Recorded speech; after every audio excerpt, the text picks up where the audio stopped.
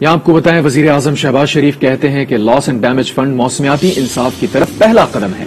وزیر اعظم نے اپنے ٹویٹ میں شہری رحمان اور ان کی ٹیم کی بھی تعریف کی ہے۔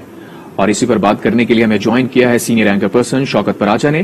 شوکت، آپ جانتے ہیں، جب سے ملک میں سیلاب آیا تو پاکستان نے تواتر کے ساتھ عالمی برادری پر یہ زور دیا تھا کہ ماحولیاتی تبدیلی سے جو نقصان ہوا ہے، اس میں پاکستان کا حصہ برائے نام ہے۔ اس موقف کو جو پذیرائی ملی ہے، اس میں حکومتی کردار کے بارے میں کیا کہیں گے؟ یقیناً پاکستان کے موقف کو بڑی پذیرائی ملی ہے، کیونکہ پاکستان تو ایک پرسنٹ سے بھی کم ایمیشن چھوڑتا ہے یعنی کاربن ڈائی آکسائڈ گیسز چھوڑنے یا ماحولیاتی تغیرات میں پاکستان کی کنٹریبیوشن تو ایک پرسنٹ سے بھی کم ہے۔ لیکن جس طرح آپ نے دیکھا، اس مانسون میں پاکستان میں یہ تباہی ہوئی سیلاب کی وجہ سے، بارشوں کی وجہ سے، تو اس کے بعد پاکستان مسلسل یہ کہتا رہا اور بڑی کامیابی ملی ہے۔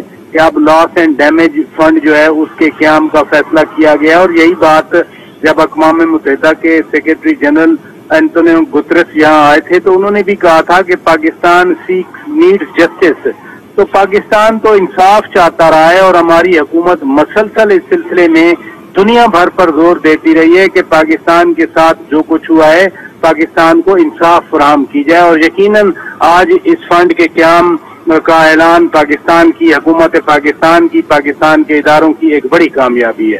اچھا شوکت صاحب وزیر خارجہ بلاول بھٹو اور وفاقی وزیر شہری رحمان نے بھی اس معاملے میں بڑی کوششیں کی ہیں۔ تو ان کے رول کو کس طرح دیکھتے ہیں آپ؟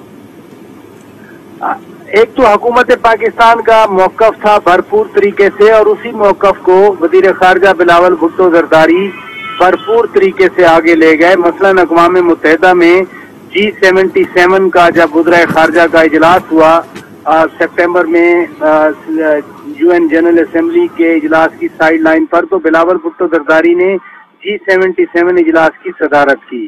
پھر ینگ فارن منسٹر کا وہاں پر اجلاس تھا تو بلاول بھٹو زرداری صاحب نے وہاں اس اجلاس کی بھی صدارت کی۔ اور چونکہ اگست میں یہ سارا، جولائی اگست میں سیلاب کی تباہ کاری تھی، سب کچھ فریش تھا، تو فوکس جو تھا وزیر خارجہ بلاول بھٹو زرداری کا اور کلائمیٹ منسٹر شہری نعمان صاحبہ کا وہ فوکس نیچرلی فلڈ فلڈ کی تباہ کاریوں اور جو یہاں انسانی صورتحال پیدا ہوئی تھی اسی پر تھا۔ کے اجلاس کے حوالے سے ہم سے بات کر رہے تھے شوکت براجہ بہت شکریہ۔